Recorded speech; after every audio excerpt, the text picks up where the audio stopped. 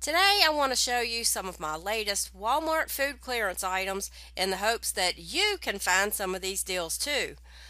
All of these items were found on the regular grocery aisles, not on a rack of dented, damaged merchandise, and I'm happy to tell you that cheese and ice cream is on clearance.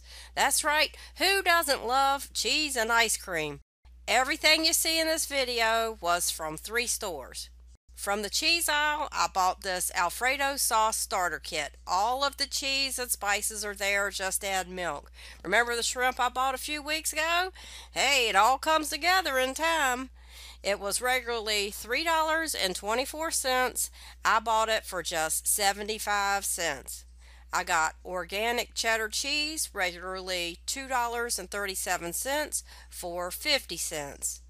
Pepper Jack cheese snacks, regularly $3.44 for 75 cents. Mozzarella string cheese, regularly $4.98 was $1.25. Pepper Jack cheese slices, regularly $3.28 was also 75 cents. Great value cheese slices. I can't wait to try this. It's smoke flavored. Regularly $4.24, now just $1. Heritage cheese slices was 99 cents, now 50 cents. We tried this cheese and it's really good. Organic Colby cheese, regularly $2.37 was 50 cents. This two pound chunk of Swiss cheese was $6.97, now $2 even. A hundred and eight slices of Kraft American cheese, regularly $16.98. I paid $4 even. I got a four pound log of Colby and Monterey Jack cheese. I got a couple of these to grate and put in the freezer regularly $10.88 marked down to $2.75. They were out of the 4 pound cheddar cheese log for the same price. Sargento mild cheddar cheese. It was $2.28, now $1.75. I skipped that one. Now, if you go to Walmart and you see this, it doesn't necessarily mean that this deal is sold out for good. If you go back early the next day, you might find that they restocked that item. Walmart also has some grains on clearance. That's right, grains. The Spanish rice, already cooked, just heated up in the microwave, regularly $1.84, now $1.15. Another heat and eat dish, chicken fried rice, also reduced from $1.85 to $1.15. Heat and eat coconut jasmine rice, regularly $1.48, reduced to just 80 cents. Here's quinoa and brown rice. You have to cook this one, regularly $1.98 for 75 cents. I bought Rice-A-Roni's jalapeno cheddar rice. It was $1, not much of a markdown at 80 cents, but it sounded pretty good, so I bought it.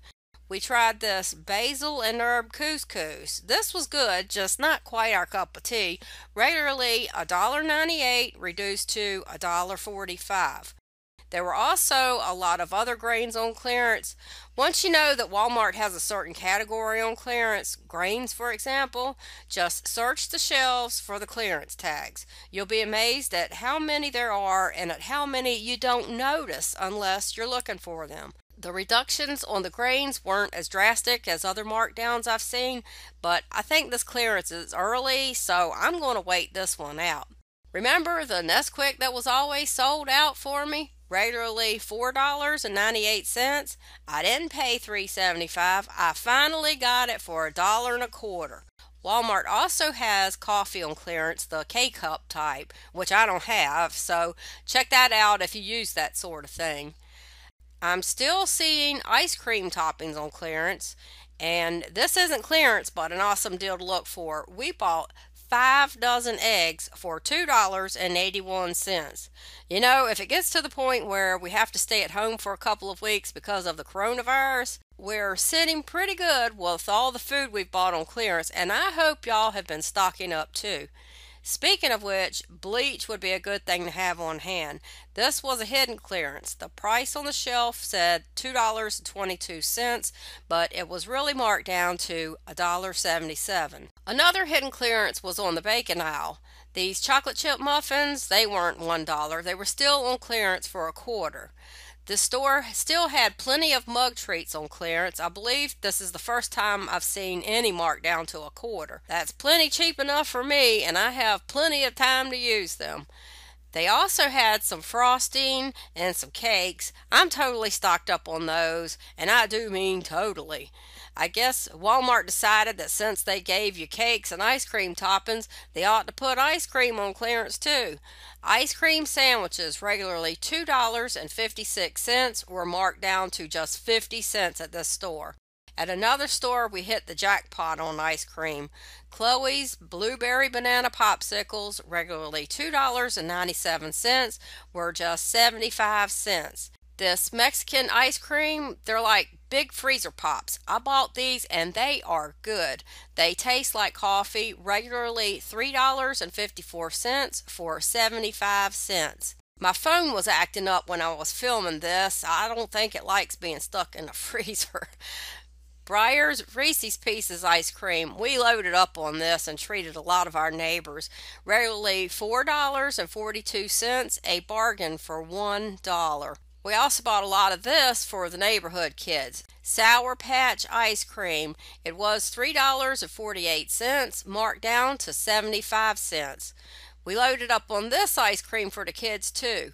Listed as a bestseller on the website, this turtle ice cream was marked down from $3.97 to $1 even. These pints were $3.78, reduced to 75 cents. At this store, the ice cream sandwiches were a hidden clearance. It says $2.56 on the shelf, but they were actually 50 cents, and we loaded up on even more for the kids. It's a good thing we took two big coolers with us. They had drumstick cones marked down from $6.47 to $5. Ordinarily, I'd say that was a great deal, but you see the other deals we got. Sour Patch Ice Pops, regularly $3.88, now $2.75. Slime Pops, doesn't that just sound yummy? Half price for $1.50. Popsicles that were $3.14 are now $2.25. More Mexican ice cream. This one is watermelon flavor, regularly $3.34 for 75 cents.